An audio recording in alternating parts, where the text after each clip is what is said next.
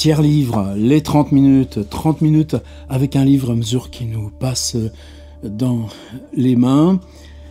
Alors, il s'agit de Claro. Claro, il a un prénom, moi je le connais, mais il n'aime pas qu'on le dise. Donc, Claro. Euh, je suis pas de la maison Claro. On s'est croisés évidemment plein de fois. Il sait l'estime que j'ai pour lui. Je suis sur Twitter. Il fait un boulot formidable. Il a un blog qui s'appelle Clavier Cannibal. Bah, à cause de Twitter, j'y vais moins souvent. Tiens, faudrait que je... Où est-ce qu'il en est Est-ce qu'il s'en sert euh, toujours? Je sais aussi que hier, sur Twitter, il disait qu'il avait 60 ans pile. Alors, bon anniversaire, mon Claro. Quand je dis que je suis pas de la maison Claro, c'est que pour moi, Claro, oh, c'est du lourd. Il y a Pinchon, mais il est là-haut, je ne le descends pas. Grand auteur américain, travaille sur la lumière. Prenez la lumière, boum, l'espace-temps, la vitesse, toute la science de ça, et partez sur 600 pages. Qu'est-ce que ça donne? Ponctuation ou sans ponctuation. Ben Claro, il l'a fait. Il a traduit des monuments, La Maison des Feuilles, livre dans lequel j'arrive pas moi non plus de cesser de descendre, mais en même temps c'est l'histoire que ça, ça raconte. Traduction Claro, mais qui pouvait se lancer là-dedans? Il y a deux ans, les Lyonnes, euh, at Report, je suis pas forcément d'accord avec le titre, mais l'importance, le Hellman, dont le père a fait la, biographie de Joyce, le fait que, le fait que, le fait que la, narratrice, une brave dame d'Amérique moyenne avec euh, la crise des ados, avec euh, les, voisins lubriques, avec euh, une maladie qu'on soigne, avec le, décès des parents, et puis les informations, et Donald Trump et tout ça. Mais c'est juste là, une matinée de cette femme. Le fait que, le fait que, le fait que. Qui a traduit ça? Claro. En même temps, il a ses propres livres. Et en même temps, il est éditeur. Il dirige, par exemple, euh, il est responsable des publications d'un culte, mais il y a longtemps qu'il euh, a, toujours été aussi éditeur à côté de, son boulot. Et là, sort au seuil, donc c'est pas chez lui, ce serait plutôt chez moi, la collection Fiction et compagnie. Je n'ai pas idée de ce que c'était. Sous d'autres formes, nous reviendrons quel titre? Et je l'ai pris au Merle Moqueur à Alexandre Dumas à Paris. Il était sur la pile. Je le prends. Le fait que ce soit mince commence à le tripoter. Et des, endroits comme ça sans ponctuation extrêmement rare, des, euh, des graphies, des, espèces de signes bizarres juste pour marquer le, saut de paragraphe. Euh, des marges. Alors, ce qui se passe dans les marges, c'est qu'il emprunte des, bouts d'expression. Euh, par exemple, là, c'est en vieux français. Il n'y que fien, c'est puanteur. Pierre de Naisson. Donc, ce qui est emprunté se joue comme un livre, à côté du livre, par les marges. Je crois même qu'il y a une espèce d'index à la fin de, la totalité de ces sources des citations, mais c'est comme dire que la littérature, ça n'est pas de rien, et qu'il y a cette espèce de, reconduction. Le livre lui-même, dans sa minceur, il, se décompose encore, enfin décompose, c'est pas le mot qu'il faudrait ici. Il y a régulièrement des chapitres, un, deux, moi je vais lire le deux, et puis entre les chapitres des précipités. Et ces précipités, quand j'ai ouvert le bouquin, je me dis, mais non, ce truc, tu le remets chez toi. Quoi. Précipité 2, crâne boîte noire, ensemble vide devenu bête tapis, disant je regarde la mort magnificent s'effondrer, sa dissoute présence à mes côtés. Il y a des blancs, donc il faut garder les blancs comme une respiration de silence, et comme ils sont variables, ben, tu as des silences variables. Je sais la vie prudemment étanche, farce à faune au fond insensible, très obstiné entre les morts du monde, les patients plus aptes à supporter la danse, sa mortelle panoplie, memento mori. Qui dira sa propre mort, illusion des forces génitrices, la face blême écrivant des corps, écrivant vertical enfin en suspens, mort vivant mi-néant, que faire de notre vulnérabilité? Théâtre de l'absence dans cette fosse. Si les objets sont inquiétudes, la page panique, aveugle, sans son. Écrivant, écrivain, formé des pleurs, suis-je ces coutures pitié? On a vu cela, hors ces trous, un crâne entre deux solitudes, parmi les gisantes, les oubliées, bulles d'air pareilles à celles de l'enfer, flamme de lettres, vestige dans les ténèbres, une voix, une ombre dans son silence, manne familier, spectres voués aux résurgences, vivant en vain, j'invoque. Voilà, précipité 2. Et les chapitres eux-mêmes, toujours ces figures de la mort. Et moi, euh, par rapport à Jodel, de Spond, le XVIe siècle, tout ce qui se passe dans les psaumes d'Agrippa, d'Aubigné, tout d'un coup, j'ai l'impression que c'est cette veine de la langue que j'avais dans les mains, que ça, tremblait.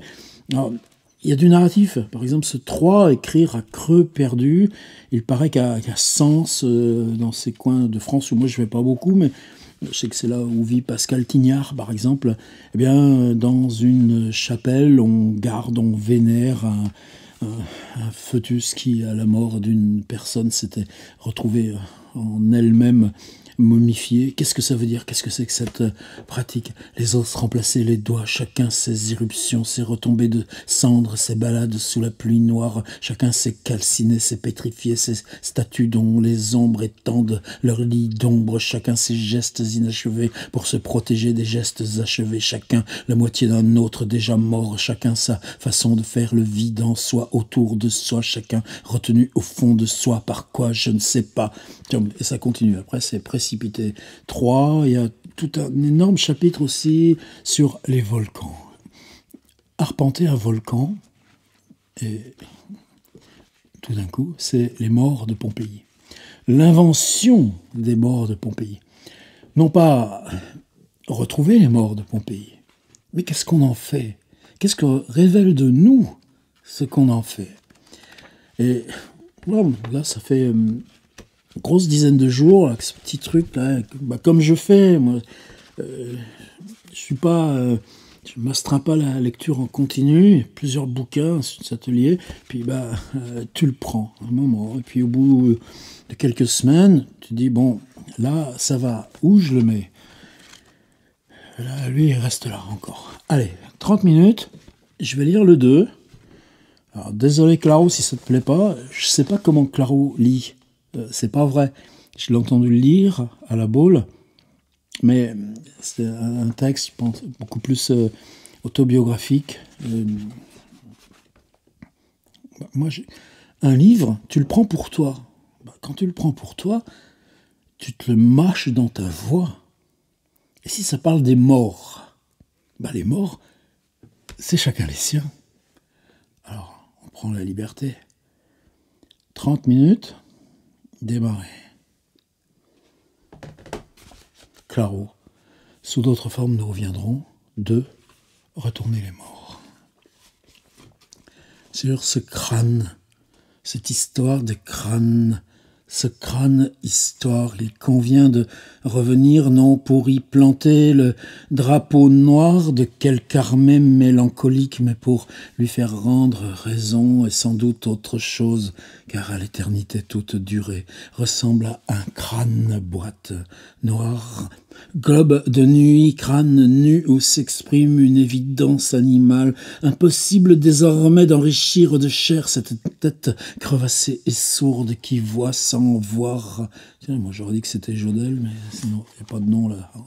Et ne respire qu'un air putréfié, impossible de faire rentrer même de force deux yeux dans ces trous lustrés d'ombre. Voyez les dents, loin de sourire, ne font qu'exalter la volonté de mordre. Ô tempes, rien ne bat sinon des reflets crânes étrangers à l'idée de décapitation réelle, souvenir d'aucun visage, seul témoin d'une autre vie de cette chose qu'on n'imaginait pas autrement que vissée sur de solides épaules ici soulagé de sa peau, de ses nerfs et vaisseaux, épuré de toute carne, tête devenue crâne, devenue bête, bête tapée en soie, traqué dans son cri muet crâne, chose solidifiée dans sa patience, ni retranché de la vie, ni émissaire d'un au-delà, pas plus rongé par les vers qu'animé par l'ambition d'effrayer livre vain et caverneux qu'on ne saurait feuilleter, micelle osseux à jamais clos sur un passage essentiel que nos lèvres la nuit, toutes les nuits murmurent tout, ou murmurent ou articulent disant ces mots. Je regarde la mort et la mort me regarde tête dans la tête et os dans l'os. Nous dansons sans danser. Depuis combien de temps dure cette épopée du vide dure Depuis combien de temps le sang tourne-t-il comme du lait noir et sénile? Depuis toujours, certes et déjà l'enfant ancien nageait dans les eaux troubles que les souvenirs n'ont fait que brouiller davantage. Il fut un temps pourtant où la mort ne regardait pas l'enfant, où elle se contentait de frôler ses paupières doucement, sans recourir au tremblement bousculant à peine les poings et taches en lente dérive sur ses globes oculaires après avoir fixé trop longtemps l'ampoule qui éclatait en vingt soleils de verre. Allons, n'ai-je pas moi aussi un cadavre à honorer Ai-je oublié qu'un jour je me suis assis dans leur grande allée de cercueils, même avec la charogne et les vautours, et j'ai ri de tout leur autrefois et de sa pauvre insignifiance. Hmm. Et j'ai ri de tout leur autrefois et de sa pauvre magnificence effondrée. Et là, on nous dit que c'est une phrase qui vient de euh, Frédéric Nietzsche. Et, il y a la difficulté aussi. Ce qui est, fascinant, là, peut-être pour moi, à mesure là, là où ça me pose question, moi j'ai cet espace-là, j'ai mes petites fictions d'une minute. C'est à toi, t'en fais rien, tu vas à l'intérieur de toi et tu cherches où, ça tremble. Euh, l'impression que là, quelque chose que peut-être moi je sais plus faire, et, c'est là où ça me, tout d'un coup ça, me file un choc. Est-ce que quelque part, avec euh, si j'en ai des petits carnets secrets, ils sont ils sont pas loin, et j'écris là-dedans, je le regarde plus. Mais à un moment donné, est-ce que quelle que soit la tâche, la traduction, l'édition, quel que soit le, projet raisonné de travail d'écriture, tu as à côté une sorte d'atelier libre où tu laisses le fond qui euh, le, fond qui, qui remonte. Vous avez compris que là, il s'agissait de la mort du père.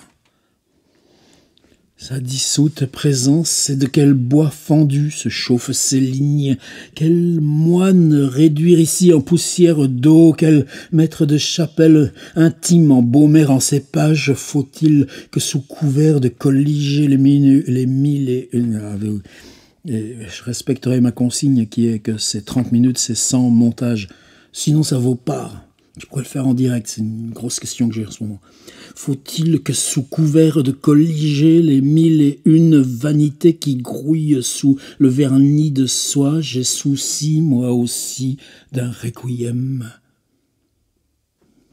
faut-il que sous couvert de colliger les mille et une vanités qui grouillent sous le vernis de soie, j'ai souci, moi aussi, d'un requiem J'ai souci, moi aussi, d'un requiem, d'un gisant ou transi, à rappeler, redresser, redorer, à mes côtés, je sais la vie amoindrie, bien sûr, et de quelle limbe je viens, car, à l'inverse de Josquin des Prés, oui, il y a d'un côté le. Euh, comment Savonarole a été brûlé à Rome, et de l'autre côté, de façon contemporaine à, Savonarole, Josquin des Prés invente la, la polyphonie. On en parle dans le tiers-livre, dans le prologue. Tous les compositeurs.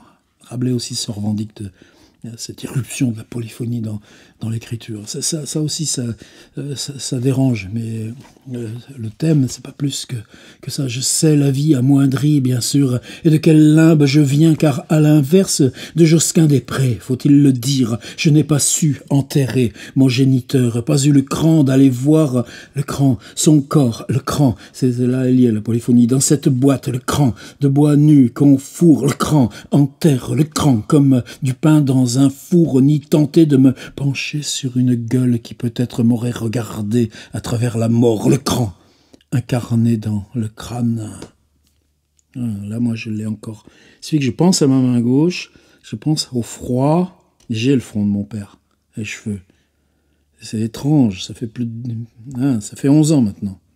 Et là, j'ai dit non, je ne veux pas, je n'irai pas, comme si frelater ma peur pour la parée des relents du refus allait retarder l'instant de la séparation, ou du moins faire de cette séparation quelque chose qui ne dépendrait que de moi. Et j'avais dû bien réfléchir, c'est-à-dire remuer quelques idées de pauvres larves d'idées, les remuer, puis profiter de mes vingt-quatre fois par an pour imposer ce choix que ma famille respecta comme on tolère un rhume fin. Et ce faisant, je crois avoir laissé pli bien crasseux et bien cassant dans ce qu'on pourrait appeler mon être, mais qu'on pourrait tout aussi bien qualifier d'étoffe molle, de paille séchée. Mais franchement, quel besoin avais-je d'assister le cadavre du père? Cela ne risquait-il pas d'instaurer un précédent, de faire jurisprudence, qui sait alors quels autres prétendants allaient venir coller leurs iris vitreux au hublot de ma vie prétendument prudemment étanche aussi ne suis-je jamais allé sur sa tombe, et trouve encore à ce jour très inquiétant ce sur inquiétant pour le moins déplacé, comme si ce sur insinuait un contact impensable, quasi charnel, le fils sur la tombe du père, quasi sur le père, pendant que des vers dans le père, etc. in aeternam. Non, je n'ai pas été tenté de me pencher sur la dépouille paternelle. Est-ce que chacun, on n'a pas nos morts, comme moi je peux rendre visite à Christophe Tarkos, par exemple, plutôt que Coltès? Je pourrais préciser pas une envie, mais s'agit-il vraiment de cela, d'une envie? L'envie de voir le père mort, allons, l'envie de voir le père mort, à l'inverse d'une envie. J'ai dit non, à la fois fier et honteux de ce non honteux d'être fier, n'ayant jamais su comment le père enterré et lequel inhumé, celui qui m'avait élevé, celui que je n'avais pas connu et qui avait vécu avant ma naissance, celui que j'avais cru fréquenter, mais quelle illusion, quelle naïveté, celui qu'il croyait être ou interpréter, celui qu'il rêvait d'être, celui qui l'en avait assez d'être, celui que les autres voyaient ou réclamaient, celui que j'aimais, celui que je n'aimais pas, celui que ma mère tentait de conserver, mais oh, quel terrible breuvage que le formol de l'amour, celui qui sifflait et pas que des airs d'opérette, le père, le père, le père. Pas étonnant que j'ai fini par jeter l'ombre de sa carcasse aux oubliettes, aux alouettes. À Dieu, maudites emplettes, et ce afin de me croire né dans les livres comme d'autres ont vagi dans les choux, et peut-être aurais-je dû enterrer mon père de mes propres mains à la seule force de mes ongles en fiévreux fossoyeur au lieu de tripoter des livres dans mon potager d'ivoire pour m'assurer que ce qu'il le père mort emportait avec lui sous terre n'était pas un peu moi, car je devais savoir que l'on ne force pas un mort à vous quitter, pas plus que nous ne pouvons rien imaginer qui vous nous autorise, bah, bah, bah, pas plus que nous ne pouvons rien imaginer qui nous autorise à nous distancer de lui, déjà avec les vivants. C'est illusoire. Le merle, c'est cela, le merle qui baise l'aube en sifflotant comme font les bons baiseurs. Fourcade. Au fond de la futaie, le merle chante les mots silencieux, le lamento du memento mori. Souviens-toi, oui, souviens-toi que tu vas mourir, ô merle, baiser, merle, sifflant, sifflotant, traduisant, s'il te plaît, pour nos oreilles de cire, ta formule chimique, refrain de légende vive, ritournelle, traduit comme il se doit par ton chant, ce vers échappé d'une douceâtre cantilène, ce secret qui n'en est pas un, cette leçon dont enfant nous n'avions que faire Souviens-toi, homme distrait, homme éparpillé, hors de toi, et en toute chose, homme épars aux faces incompatibles. N'oublie pas que le vide temps. Ne laisse pas la vie te dissiper au point de te faire prendre et surprendre. Quand vient le soir, regarde, je t'en prie, sans scier les nuages choirs d'un bloc d'un seul voix, leur ventre lourd et cuivré racler la lande nissement des fumerolles, voit les bêtes apeurées brouter leurs propres ombres à même l'herbe stérile, tu le sais, toute chair et de l'herbe, toute sa grâce est comme la fleur des champs, l'herbe se dessèche, la fleur se fane quand le souffle de Dieu passe sur elle, sans la foudre en toi. Pascal Blaise. Sans là se réfugier dans ce cœur de fer qui rouille sous ta chemise, sans ta bile croupir, ta sueur durcir, ta peau s'amincir, entends et pas seulement leur rage, pas seulement sa belle et puissante rage. J'entends les coups du temps. Tes parents sont des branches qui cognent à ta femme. Tes parents sont des branches qui cognent à ta fenêtre. C'est compliqué les liaisons quand tu balances comme ça, quand tu prends avec les dents un texte et levant un simple filet d'air réchappé des caveaux entr'ouverts. Allons, il est temps de retourner les morts doucement, en prenant mille précautions, en évitant mille aversions. Regarde, leurs habits ne tiennent plus qu'à un fil, tout est flanqué, ils et toi aussi tu trébucheras, toi aussi tu partiras en avant, les mains tendues pour amortir ta chute, tes mains s'enfonceront dans le souvenir de tes mains, ton corps rentrera dans ton corps, ta salive aura le goût du sang et ton sang un goût de terre, et dans la fraîcheur de l'humus tu sentiras ta forme lentement se déformer, ton sourire s'épanouir comme une plaie. Un trait tiré entre eux et nous, car mort, que ferons-nous de ceux qui nous survivent? Mort, que serons-nous sinon leur avenir disposé entre quatre planches? Mort, qui sommes-nous? Mort, qui êtes-vous? Que cherchez-vous à fuir qui soit ce à quoi nous nous accrochons obstinément? Pauvre mort le sang a cessé de danser au bout de vos bras, vos mains n'ont plus de doigts, vous tremblez encore un peu des cuisses, tels des chevaux pris par le froid articulé, un dernier mot que l'on essuiera du revers d'un mouchoir aux fines commissures usées. La fin est là, on a fait la pénombre dans la chambre pour ne pas voir les dernières crispations, et près de leur frais cadavre, une bougie répand son jus jaune sur l'âme qui refroidit. Ah, si l'on pouvait voir, voir vraiment ce qui se passe alors. On les verrait suinter de tout leur être, devenir suintement d'eux-mêmes, non pas sortir d'eux-mêmes, mais expulser imperceptiblement leur possible, ce serait, je crois, comme une éclipse, peut-être inversée, car bien sûr, on ne pouvait rien voir à travers.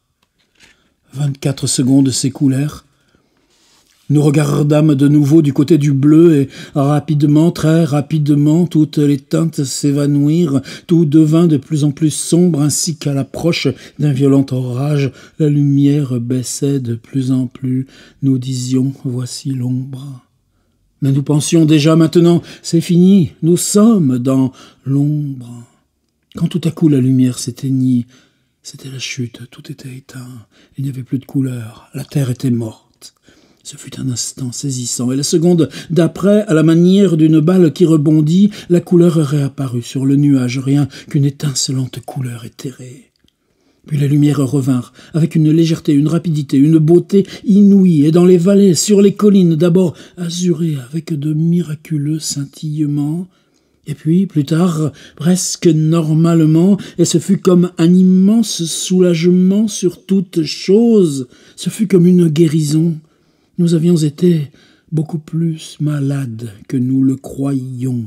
Nous avions vu la mort du monde. Las. L'œil nu, l'œil sec, l'œil impuissant échoue à percevoir cette incroyable éclipse. Bientôt nous aussi nous rejoindrons nos morts dans ce précieux terreau où même les bulbes ont droit à une seconde chance. Bientôt nous ne ferons plus qu'engraisser d'autres que nous, d'autres moins bruyants et ô combien plus raffinés, nettement plus patients, plus aptes à supporter la nuit aussi, et c'est pour cela qu'écrire prend tout le corps et le jette sans cérémonie dans un puits d'ortie.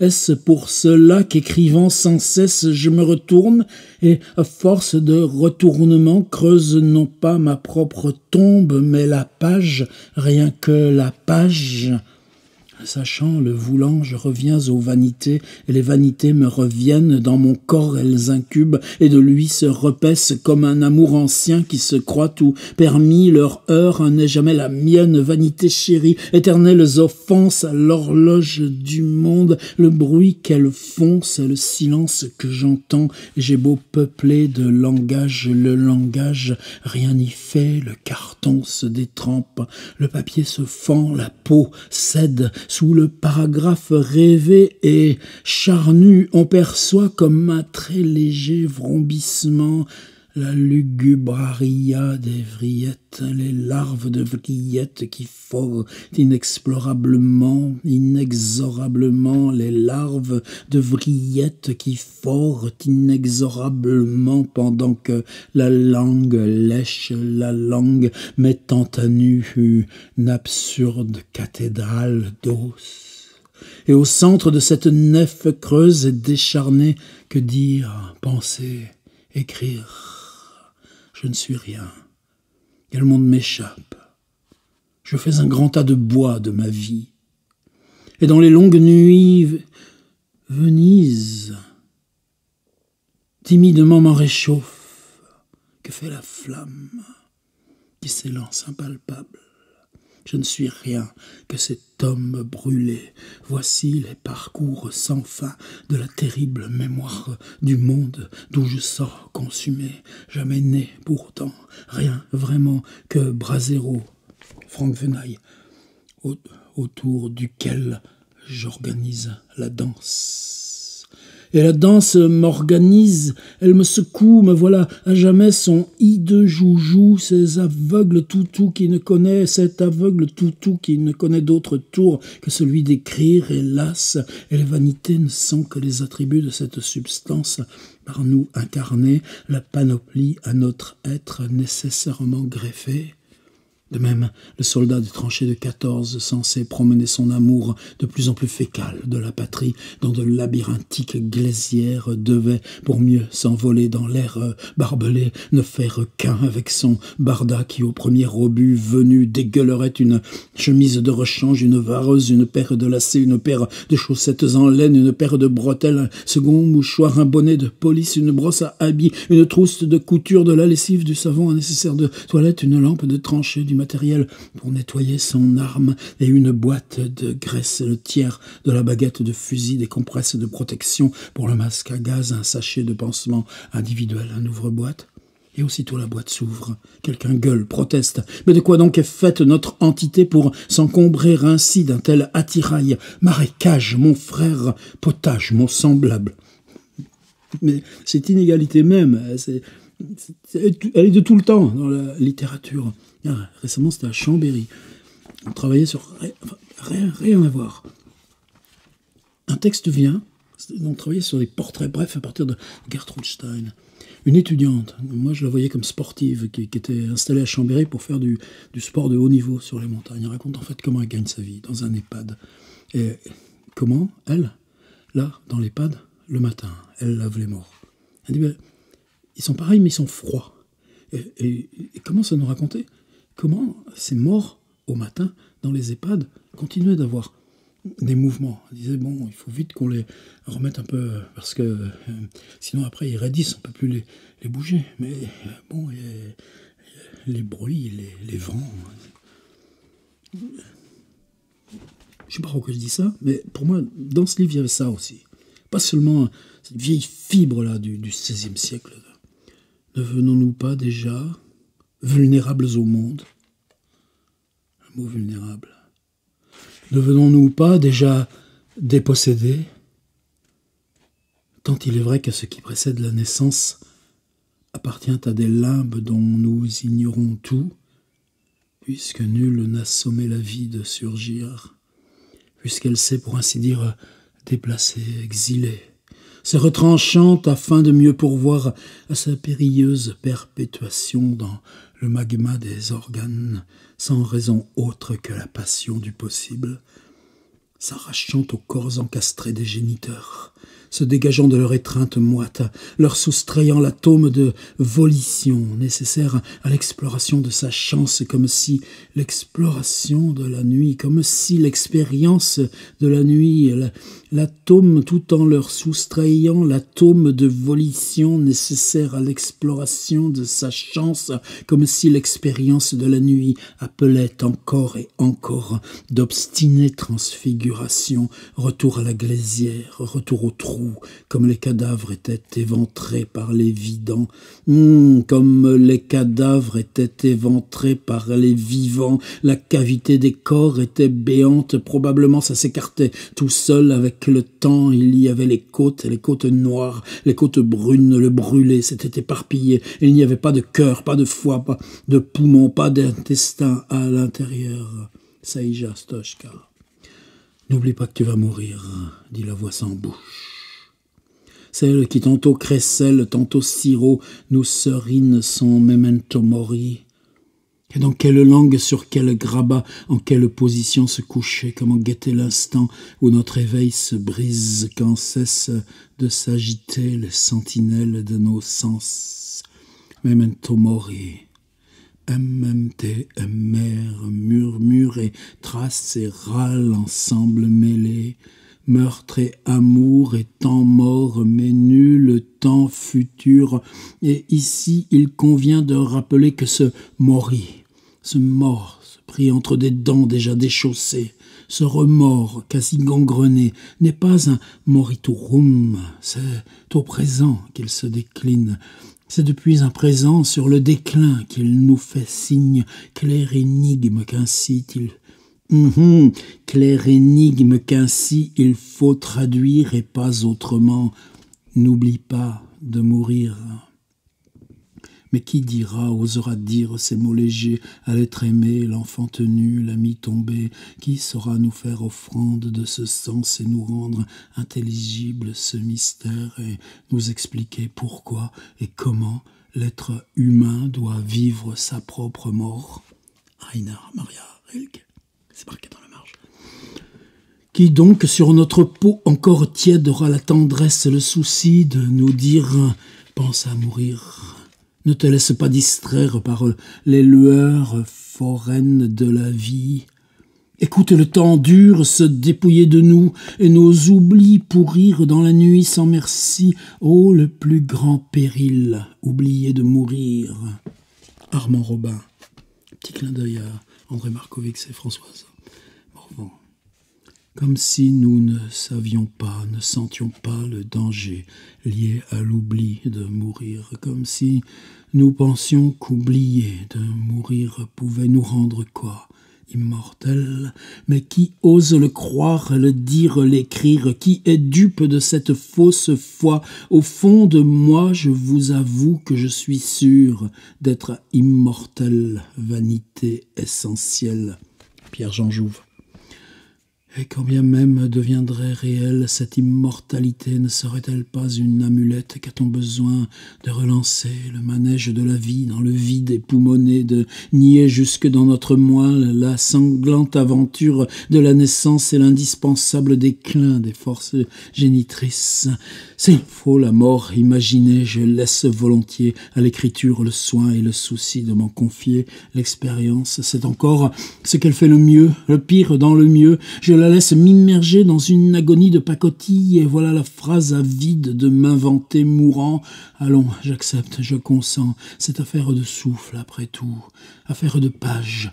Et sur la page, soudain changée en stèle, je sens mes poumons se vider froidement de cet air que ma bouche a laissé s'enfuir par les torts et travers de l'écriture. J'entends la vie refluer, les pensées s'effriter, enfin le mal est fait, bien fait, le tour est joué, la poussière des mots me tapisse de l'intérieur, mes muscles cessent d'être ces oiseaux qui me permettaient de voler sans voler, il n'y a plus qu'à tituber trébucher à chaque amorce, cependant que le sang coule en serpent aux commissures, que cède en grand éclatement sans poche de vent dans le secret des intestins, voilà qu'un liquide jaune envahit et remplace mes yeux, parvenu au seuil du seuil, je peux dire enfin, je me présente ici comme une anatomie, le cœur sans battement,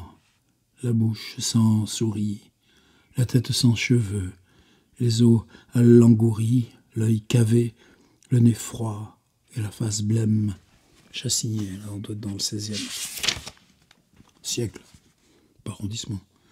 Écrivant, je peux m'inventer à mon tour, écorcher, m'accaber, minuit et midi, soudain à égale distance, écrivant, me dépouillant, jouant au trépas comme d'autres au tric-trac. Mais ce jeu, bien sûr, n'en est pas un, au fond de soi, le soi sait ce qu'il en court, l'esprit se rétractant en eux, les dents repoussant les dents, les gencives fort closes, la peau ramollie puis tendue, les doigts, tous les doigts coincés, cassés, en et en et en, à suffoquer de n'être plus rien, rien que ce corps défait, se défaisant encore et savoir sans comprendre que la mort est tout épuisée de la destruction des corps. Chopinot, connaît pas.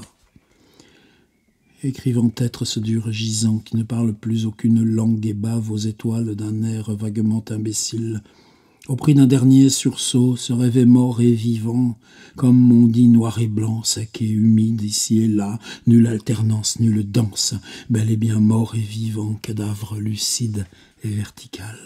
Enfin, mort, vivant mieux de voir le monde sans teint, sa farce, mieux sa face putrescente, et mieux son dos, de même toute chose maintenue en fausse existence par un fil qui, tel une racine affamée, s'enivre de sucs inférieurs, de sucs amère et de céder comme ta chair à la complaisante décomposition non imaginable et de s'immobiliser comme l'image et la parole dans les parenthèses documentaires en suspens. Jacques Roubaud nous dit Claro. Mort vivant, écrivant, me voici tant N'équilibre à autre, moi-même gris et noir, tour à tour, entière et sécable, tenaillé entre tronc oui et écorce non, face à mon dos et mes dos à ma en état de mi-néant. Que faire de cette déshérence Comment ne pas rappeler d'ici d'où viennent les vanités? Quelqu'un jour, puisqu'un jour, ces choses d'histoire faites d'archives, des hommes crurent bons d'ériger autour du cadavre une scène à la mesure de sa vulnérabilité, un vaste amphithéâtre dans lequel on éventra, étudia, disserta, Rabelais l'a fait. Un siècle après, le bûcher de Savonarole, thème du livre, sous l'impulsion de l'anatomiste un, un siècle après le bûcher de Savonarole, sous l'impulsion de l'anatomiste Peter Pauve, quand fut construit un édifice dont les gradins ménageaient des percées sur le grand dehors, permettant ainsi l'irruption du jour, et il n'est pas innocent et innocent que le dit Pauve s'inspira de la composition en cercles et ellipses de l'œil, faisant ainsi d'une salle de dissection un centre névralgique où ce qui était vu, il était au sein de la forme oculaire même, le rituel de l'éviscération et du démembrement en une dramaturgie. À la lumière, je constatais ton irréalité, elle émettait des monstres et de l'absence. Fin des trente minutes. Le chapitre 2 continue encore. On était aux deux tiers. Et moi, je comprends pourquoi je fais cet exercice. Quand je me plonge Qu'est-ce que j'ai lu à voix silencieuse Et ça te pousse dans le dos, le claro, jusqu'à ce que tu sois confronté à ce raclement des mots dans lui-même qui les attend, les fait surgir.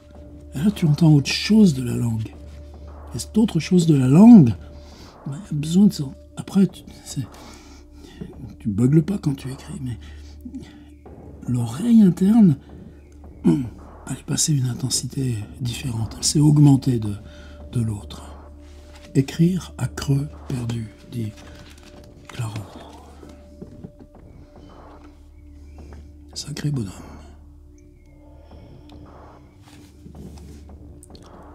Pour la vignette de fin.